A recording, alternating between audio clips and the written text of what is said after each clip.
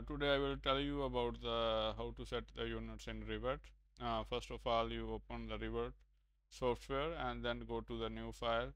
Here you will see the imperial defaults and the metric defaults. So keep imperial default uh, and then make this is okay and then go to the browse.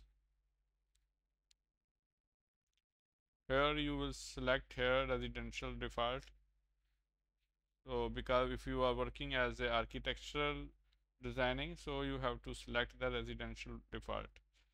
Select here and then open this one.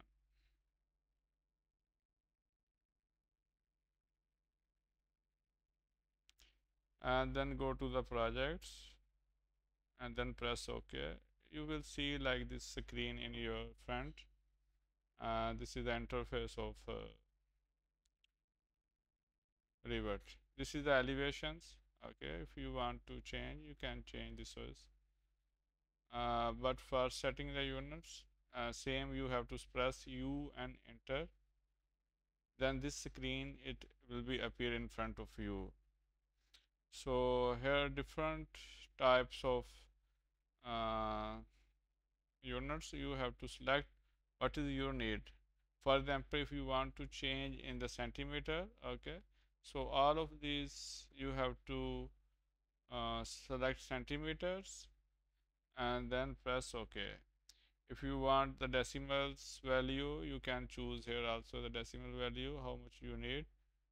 And then if you want to show a centimeter symbol also, you can select centimeter and then OK. Or if you not want to show, OK, then keep none and OK.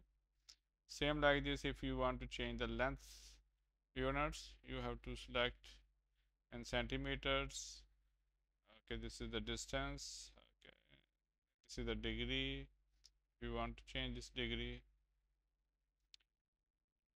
So each unit or each type of you want to change, you have to select and you have to choose what's the unit you need and then press OK.